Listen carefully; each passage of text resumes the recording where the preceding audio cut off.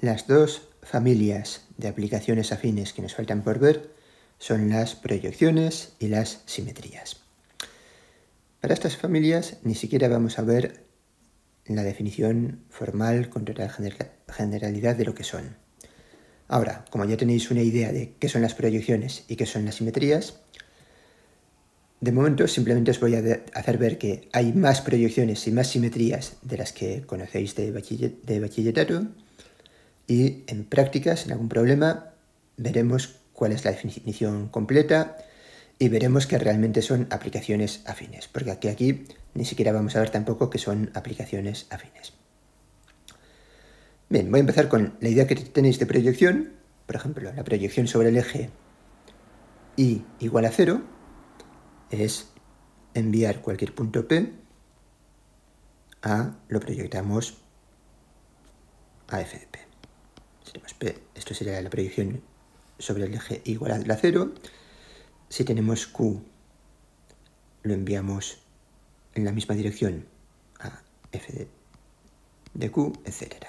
Vale, pero esto no es cualquier proyección. Esta es la F, es la proyección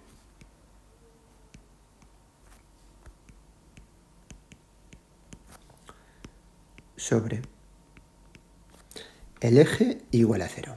En términos de espacios vectoriales, ¿cómo se escribe eso de el eje igual a cero? Bueno, pues sobre el subespacio generado por el primer vector de la base canónica, pero es una proyección sobre este subespacio en una dirección, en la dirección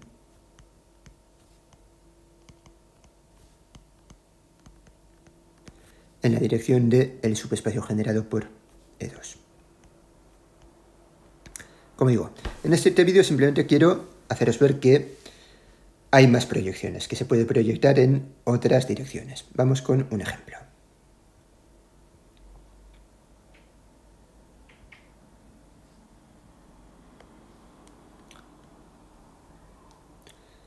Vamos a ver cuál es la proyección.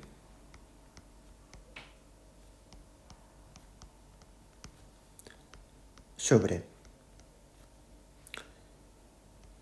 Voy a poner el mismo subespacio, subespacio generado por E1, aunque realmente también podría ser, también se podría proyectar sobre cualquier otro subespacio en la dirección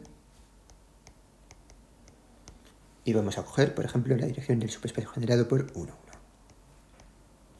Vale, vamos a dibujar el subespacio generado por el vector 1, 1. Este sería el vector 1, 1. Esta recta sería el subespacio generado por 1, 1. Bueno, esta recta o amago de recta. Y dado un punto, ¿vale? Si tenemos por aquí un punto P igual a xy, bueno, casi no lo voy a dibujar aquí porque me saldría de la pantalla.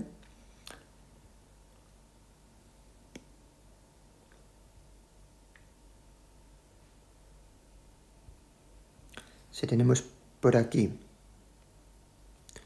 un punto P igual a xy, la proyección sobre el subespacio generado por E1, es decir, sobre la recta igual a 0 en la dirección del subespacio generado por 1, 1 sería algo que estaría por aquí. Esto sería f de p. Vale, y esto gráficamente, esto en el dibujo. Ahora, si queremos encontrar la expresión analítica de esta proyección, ¿cómo lo hacemos? Bueno, pues, es decir, ¿cómo calculamos analíticamente la imagen de un vector cualquiera de R2 mediante esta proyección. Bueno, pues, ¿qué estamos haciendo?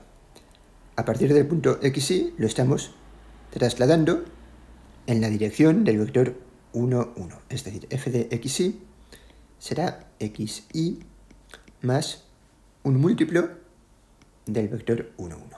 Esto por un lado. Por otra parte, ¿Qué más sabemos sobre f de xy? Bueno, pues es una proyección sobre el eje igual a cero. Es decir, la segunda componente de f de xy es igual a cero. Es decir, f de xy tiene que ser igual a alfa 0 para algún alfa.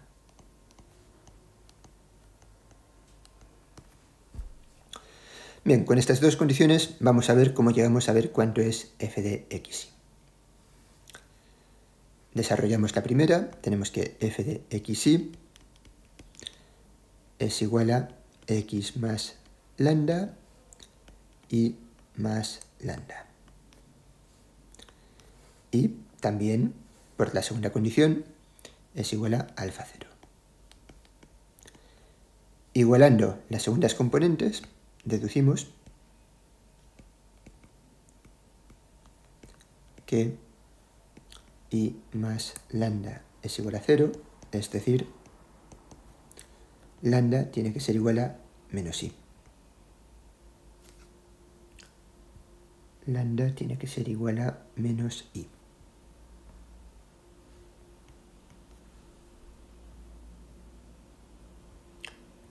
Una vez tenemos lambda, ya podemos deducir cuánto es f de xy. Así, f de xy, ¿cuánto es? Pues será x más lambda y más lambda. Lambda es igual a menos i, por tanto, f de xy tiene que ser igual a x menos y, 0. Y esta sería la proyección sobre el subespacio generado por E1 en la dirección del subespacio generado por 1, 1. Como os digo, en prácticas veremos que, bueno, veremos en primer lugar la definición general de una proyección y veremos que las proyecciones son aplicaciones afines.